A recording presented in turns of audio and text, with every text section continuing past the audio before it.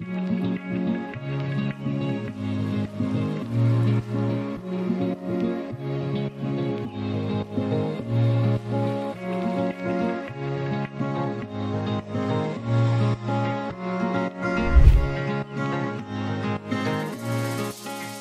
penandatangan perjanjian kerjasama adalah sebagai pedoman dalam mengoptimalkan serta mengefektifkan pelaksanaan tugas dan fungsi para pihak terkait dalam upaya pencegahan dan pemberantasan penyalahgunaan dan peredaran gelap narkotika.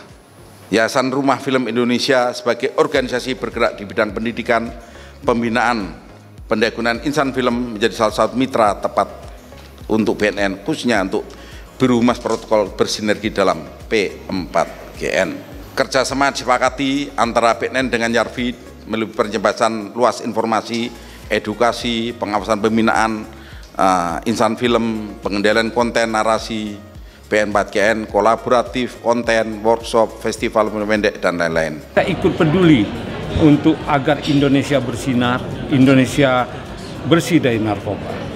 Jadi berbagai cara. Kalau tidak, kalau kita hanya diam saja, banyak korban-korban di lingkungan kita seperti Bapak Kepala BNN uh, Pak Martius Hukum. Hukum mengatakan bahaya narkoba ini sudah di depan rumah halaman. kita, sudah di halaman kita.